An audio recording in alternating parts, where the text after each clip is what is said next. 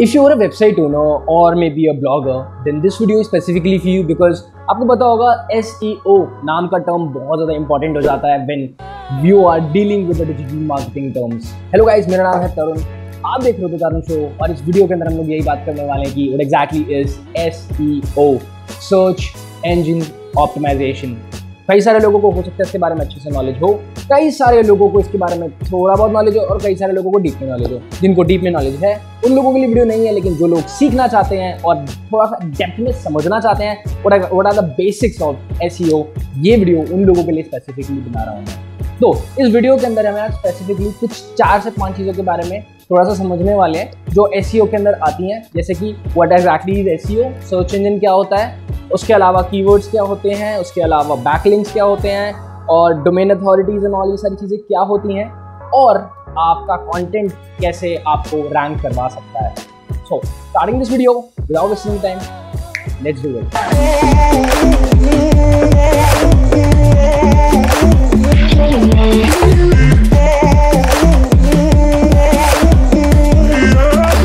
सबसे पहले समझ लेते हैं कि what exactly is S E O search engine optimisation मतलब सर्च इंजन समझ लो पहले तो।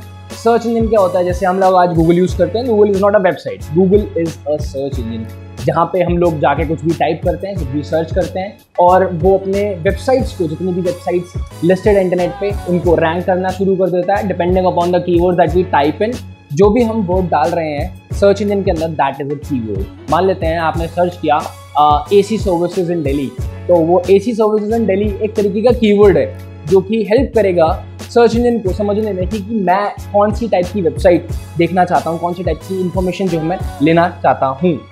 मैंने जब सर्च इंजन के अंदर टाइप किया A C services in Delhi तो गूगल जो एक सर्च इंजन है वो जितनी भी वेबसाइट उस पर लिस्टेड है उसमें देखना शुरू कर देता है कि किसके अंदर इस कीवर्ड के बारे में बार बार बात की गई है किसके बारे में ये बात की गई है और जो ट्रैफ़िक उस पर आ रहा है वो काफ़ी देर तक रुक रहा है। उसके हिसाब से वो रैंक करना शुरू कर देता है कि कौन सी ऐसी वेबसाइट है जिसके ऊपर जाके मेरे प्रॉब्लम का सोल्यूशन मिल सकता है। और मैं सेटिस्फाई हो सकता हूँ। बींग अ सर्च इंजन उसकी सबसे पहली प्रायोरिटी ये है कि सर्च करने वाले को जल्द से जल्द अपने सवाल का जवाब मिल जाए टॉप के फ़र्स्ट पेज या सेकेंड पेज तक में। तो अपनी वेबसाइट को उस एक पर्टिकुलर कीवर्ड के ऊपर ऊपर दिखवाना रैंक करवाना सर्च रिजल्ट्स के अंदर दिखाना स्टार्टिंग के फ़र्स्ट और सेकंड पेज के अंदर दिखाने को सर्च इंजन ऑप्टिमाइजेशन बोलते हैं कि ज़्यादा ऊपर ज़्यादा ऊपर आपकी वेबसाइट दिखती रहे। क्योंकि वेबसाइट अगर ऊपर दिखेगी तो ही लोग उसके ऊपर आएँगे। आप एग्ज़ाम्पल अच्छे से जानते हो। आप कुछ भी अगर गूगल पे टाइप करते हो तो शुरुआत के तीन, चार, पाँच वेबसाइट्स ही हैं जो आप शायद खोलते हो। उसके वाले नेक्स्ट वाले पेजेस पे बहुत ही कम लोग जाते हैं। To explain you the stats, approximately 70% of the BP stays on the first or till the third page of the search engine.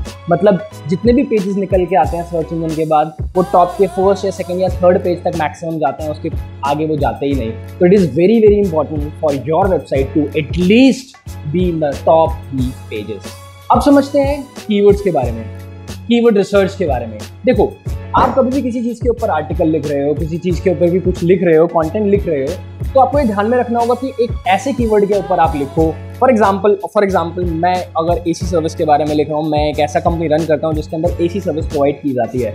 तो मैं एसी सर्विस के बारे में अपने ब्लॉग पे या फिर अपनी वेबसाइट पे ज़्यादा से ज़्यादा लिखूँगा और उन कीवर्ड्स को यूज़ करूँगा जो सबसे ज़्यादा गूगल पे सर्च होते हैं। देखो, आपको वो नहीं लिखना जो आप लिखना चाहते हो, आपको वो लिखना है जो लोग ढूंढ रहे हैं। It is a very different thing आपको वो नहीं लिखना जो आप लिखना चाहते हो, आपको वो लिखना है जो लोग ढूंढ रहे हैं, लोगों का जवाब देना है आपको तो आपको वो कीवर्ड्स को इन्वॉल्व करना पड़ेगा। फॉर एग्ज़ाम्पल मैं ए सी सर्विस इन डेली देता हूँ, ठीक है, लेकिन लोग सर्च नहीं कर रहे हैं ए सी सर्विस इन डेली तो मुझे वो चीज़ डालनी पड़ेगी जो लोग सर्च कर रहे हैं। हो सकता है लोग सर्च कर रहे हो ए सी सर्विस ए सी इन डेली या फिर कुछ अलग टाइप का कीवर्ड जो कुछ कीवर्ड्स टूल्स आप यूज़ करके फाइंड आउट कर सकते हो। अगर फ्री की बात करें तो ऊबर से नील पटेल का आप लोग यूज़ कर सकते हो। It is completely free of cost आप वो बेसिक में यूज़ कर सकते हो। मैंने काफ़ी यूज़ किया। अपार्ट फ्रॉम दैट अगर आप पेड यूज़ कर रहे हो तो आप यूज़ कर सकते हो बूरैंग या फिर आप एच या फिर सीमरश आप यूज़ कर सकते हो। Now let's talk about the types of S S actual में तीन टाइप्स से होता है या तीन टाइप्स के अंदर डिवाइडेड है। जिससे कि आप डिपेंड करते हो कि यार आपका जो वेबसाइट है वो किस तरीके का परफॉर्म करेगा सर्च इंजन के अंदर। सबसे पहला आता है on page S on page S के अंदर सारी की सारी फ्रंट वाली चीज़ें आ जाती हैं जो इंसान को दिखती हैं। एक यूज़र को, एक नेम यूज़र को दिखती है जब वो टाइप करता है। ठीक है तो वेबसाइट में क्या लिखा हुआ है, किस तरीके से लिखा हुआ है, किस तरीके की इमेजेस लगी हुई हैं that all comes under on page S then comes technical S technical S मतलब जो पीछे वेबसाइट के कोडिंग में हो रखा है। क्या वो वेबसाइट फ्रेंडली है मोबाइल फ्रेंडली है, क्या आपकी जो वेबसाइट है, वो सिर्फ़ लैपटॉप पर ढंग से दिखती है या वेब फ़ोन के ऊपर अच्छी नहीं चलती? अगर वो लोड बहुत लेट करती है तो ये सारी चीज़ें बहुत इफ़ेक्ट करती हैं। आपका वेबसाइट तभी रैंक करेगा जब वो फ़ोन ऑप्टिमाइज होगा। वो हर तरीके की डिवाइस पे स्पीड में खुल जाएगा और उस पर कोई स्पैमी लिंक्स नहीं होंगे। गूगल हमेशा उनको प्रायोरिटी देता है, जो कि आने वाले यूज़र को अनॉय ना करें और उनके सवाल का जवाब जल्दी से जल्दी दे दें। और तीसरी चीज़ होती है ऑफ़ पेज एस जिसको हम लोग बैक लिंकिंग भी बोलते हैं लिंक बिल्डिंग भी बोलते हैं। ऑफ़ पेज एस बेसिकली आपके लिए ट्रैफ़िक लेके आता है। बेसिकली मान लेते हैं कि आप एक ऐसे नीच के अंदर हैं कि आप शूज़ या फिर आप कुछ फ़ैशन का सेल करते हैं राइट फ़ैशन का कुछ क्लोथिंग सेल करते हैं। तो आपके ऊपर ट्रैफ़िक लाने के लिए सर्च इंजन हो सकता है डायरेक्टली ना भेज पाए। लेकिन आप क्या कर सकते हो, उन वेबसाइट्स जिन पे ऑलरेडी वैसे ट्रैफ़िक आता है, जो डिज़ाइन के बारे में फ़ैशन के बारे में ग्रूमिंग के बारे में थोड़ा सर्च करते रहते हैं, देखते रहते हैं। उन वाली वेबसाइट से आप बोल सकते हो कि आप मेरी वेबसाइट के लिंक अपनी वेबसाइट पे डालिए और उस ट्रैफ़िक को मेरी वेबसाइट पे आने दीजिए। That is called a backlink जब आप वहाँ के ट्रैफ़िक को, किसी दूसरी वेबसाइट के ट्रैफ़िक को अपने वेबसाइट पे ट्रैक करते हैं, उसको ट्रांसफ़र करवाते that is called link building या ऑफ़ पेज एस अब ये भी दो तीन तरीके के होते हैं, लेकिन डेप्थ में हम इसकी बात नहीं करेंगे। अगर आप लोग बोलेंगे तो डेप्थ में, आने वाली वीडियोज़ में तो बनाया जाएगा। अब बात करते हैं डोमेन अथॉरिटी के बारे में डी ए जो शायद आप लोगों ने सुना होगा। डोमेन अथॉरिटी बेसिकली होता है कि जो डोमेन आपका है, मेरे जैसे मेरी कंपनी का है codes black dot com codes black dot in ये मेरे डोमेन है। आपकी भी कंपनी के, आपकी वेबसाइट के डोमेन्स होंगे X Y G dot com A B C dot com जो भी है। तो देखना ये होगा कि उसकी जो रेपुटेशन है, उसकी जो डोमेन की अथॉरिटी है गूगल सर्च इंजन की नज़रों में, वो बहुत इंपॉर्टेंट है।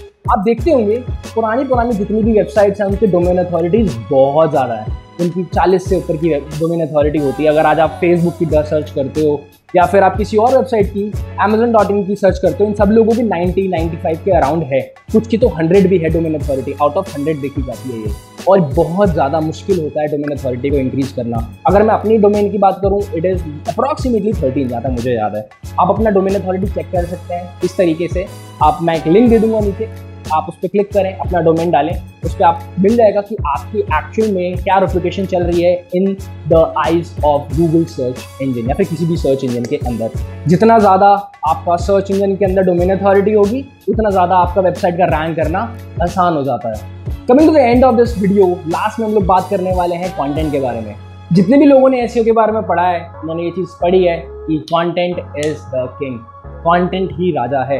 अगर आपको वेबसाइट को रैंक करना है तो कंटेंट ही एक ऐसी चीज़ है जो कि आपकी वेबसाइट को रैंक करवा सकती है। These are these are all tricks जो हम लोग डिस्कस करते हैं एस के अंदर बट जो मेन चीज़ होती है दैट इज़ कॉन्टेंट क्या वेबसाइट पर ट्रैफ़िक आने के बाद जो यूज़र है, वो आपकी वेबसाइट पर रुकता है, टिकता है?